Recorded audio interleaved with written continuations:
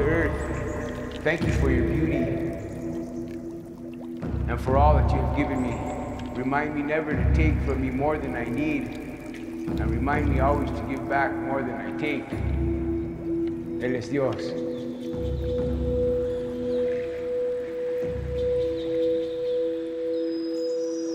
El río que se corre abajo.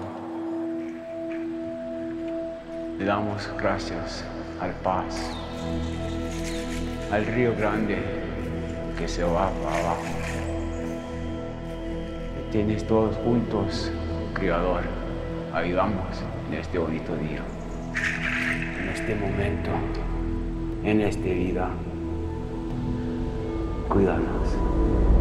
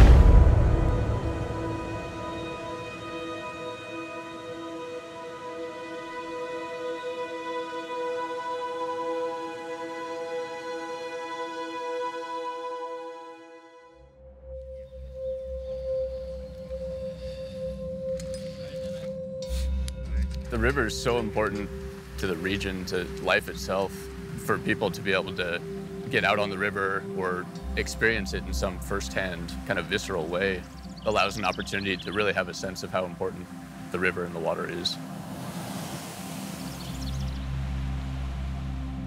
Up here, as you're seeing, we've got wide open mesa. We've got the Sangre de Cristo Mountains to our east. But when we get down in the gorge, it's like its own little world down there. That river is life. Most of the wildlife that we see is down there. It's migrating birds, mule deer, bighorn sheep. People really love kind of being able to get on the river and just hear the water flowing. And then to climb out 2,000 feet and have this as scenery, it's really a, kind of an interesting juxtaposition between like high dry desert and really a lush river canyon.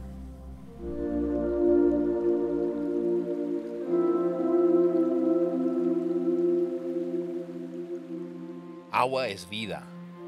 Water is life. And in this dry, high desert climate, that's a fact. Without this water, there would be no life here. That's why all the ancient civilizations settled close to this body of water. That's why the big cities downstream are close to this body of water, because this is the source of life right here. And without it, we're a dry desert. We're all connected by water. Good luck. Goodbye. John Dunn is one of the few roads that comes down into the Rio Grande Gorge. There's petroglyphs in the area, there's plenty of wildlife. It's just a great place to access the beautiful wild river. Well, the gorge is such a fabulous, rugged, remote, wild place. It's dramatic, it's stark, but it has its own incredible beauty. There's no trails, no roads once you get past a certain point.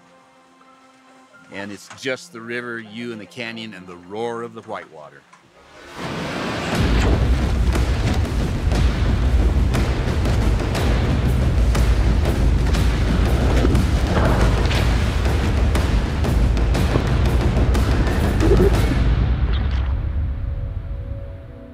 One of my favorite things about river running is its ability to humble us and how powerless we really are in the big picture and how incredible it feels to be in that place of grace where it's just about being focused and in that moment, that present moment and responding to this magnificent force of nature. wild settings like this, to, get deep in with nature, it's really a grounding experience and uh, kind of gives the spirit a lot of room to move and breathe and, and dream. This is where it starts. When we can protect valuable river corridors like this all over the world, as well as here at home. Well, I feel pretty lucky to be on the raft with Leanne. Oh, thank you, John. It's good to have you.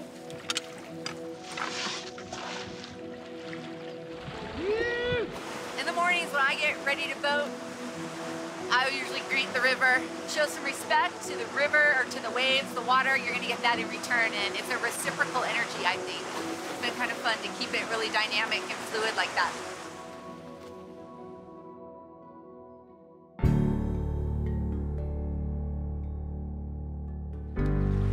I started in 1973, and I've been, uh, this has been my profession since then. Certainly lost count of the number of times I've come out on the Rio Chama. This is protected as a National Wild and Scenic River, and right now we're floating through the Jicarilla Apache Reservation.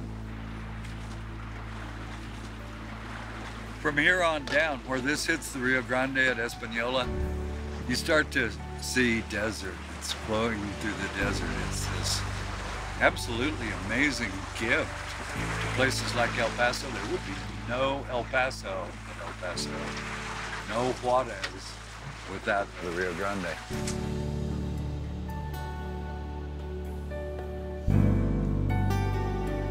Rio Chama is the reservoir storage for the Rio Grande. Reservoirs on most main stem rivers that uh, kind of regulate the, the flows. They store water during the runoff and, and regulate it back out during the rest of the season. So this is kind of the last headwaters tributary coming again. This is how Albuquerque uh, maintains kind of a drought reserve of surface water is they've got Abiquiu Reservoir down the way that they store some of this water in. And then upstream, the irrigation water is all in storage. Water is like a great educator. If you're observing, you see a lot about hydrology, about the vectors of a river and the, the work it does and the forms it takes.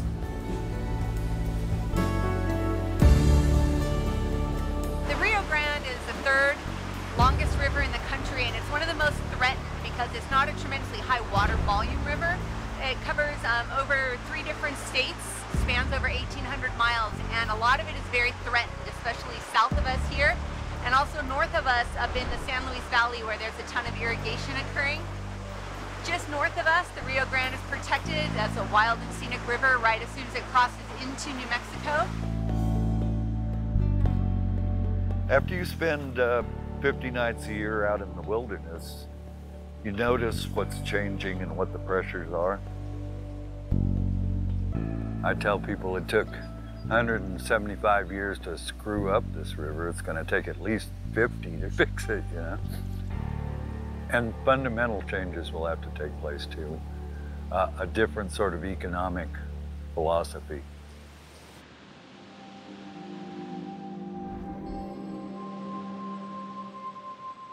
BLM 1119 to Taos Central. I came into this job as a wildlife biologist and a firefighter, and for many years I kind of working on the ground and not being able to change things that I saw that were damaging or dysfunctional out on the landscape. And uh, this job in law enforcement gives me the opportunity to kind of be a first-hand contact for things that are happening. A concern that I have is that the value of the public resource could be forgotten in our society. I think I see trends away from landscape, away from nature in, in our youth, in our communities, and I think the survival of this landscape and the relationship that we have with it really depends on the cultivation of that, that mutual respect.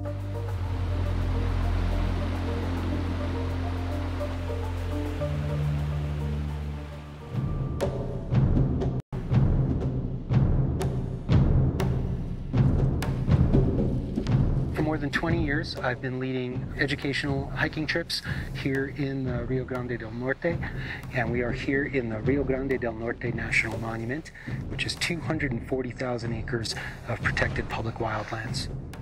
National Park is set up to protect the natural beauty of an area.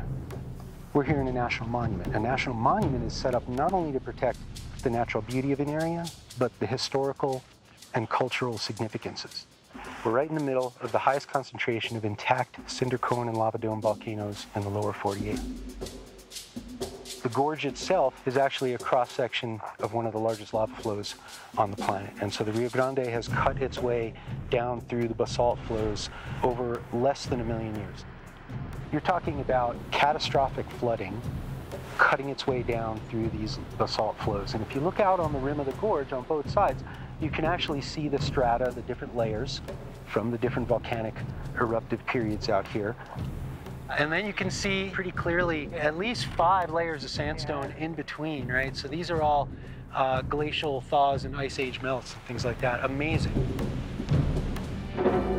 It's going to take some critical mass of people that are concerned about conserving rivers to, to actually get the job done. We need to make more wild and scenic rivers. We need to make them longer. We need to make the act include watersheds so that watersheds get protected. And we need floods to have a healthy river. And we need fire return to the forest ecosystems to have healthy watersheds.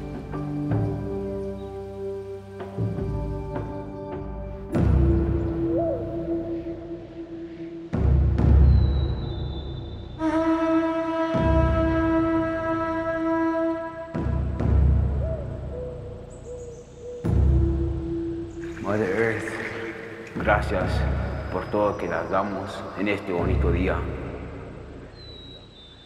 To all the people that have passed in this river, may you sleep in comfort and continue to bless these waters as we move forward. Él es Dios, se le damos gracias a este bonito día.